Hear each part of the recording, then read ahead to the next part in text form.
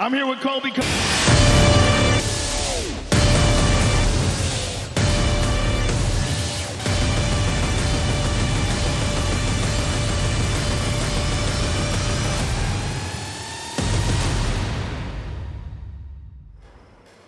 Vâng, xin chào mừng quý vị và các bạn đã trở lại với trường quay của chương trình Võ Đài Bát Giác và chúng ta đã có được